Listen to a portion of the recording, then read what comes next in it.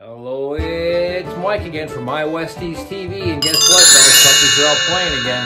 So come on, let's take a look at them. They're getting bigger, and we're going to get some hints on some other products they're going to need as they get to be adults. So let's go check them out. We want to thank everyone for watching and enjoy the video.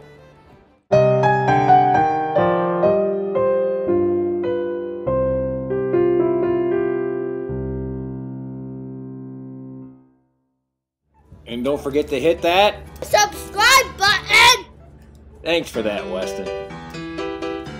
And here we have Belle's Puppies, born on January 13, 2020. Come on, let's take a look.